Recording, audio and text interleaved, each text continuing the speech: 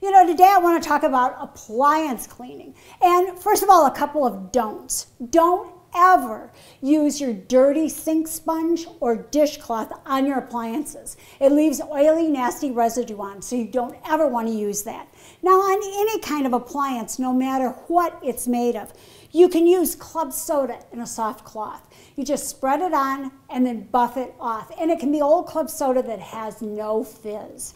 Now, you can also use on any appliance and on stainless steel rubbing alcohol. What I do is I take a microfiber cloth, I put my rubbing alcohol on it, and then I come over and I simply work it in, just like that.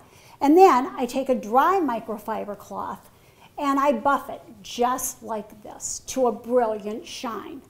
Now, one other thing that I love for stainless steel, because we all know what a pain that is to clean, is CLR stainless steel cleaner. You can buy that in grocery stores and hardware stores. You simply spray it on like that, take a microfiber cloth, and just buff it off.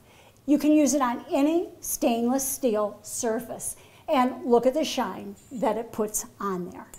Okay, I think that's all you need to know about appliance cleaning. So when the kids touch the refrigerator, you don't have to have a fit. For more information, go to queenofclean.com. Thanks for talking dirty with the Queen of Clean.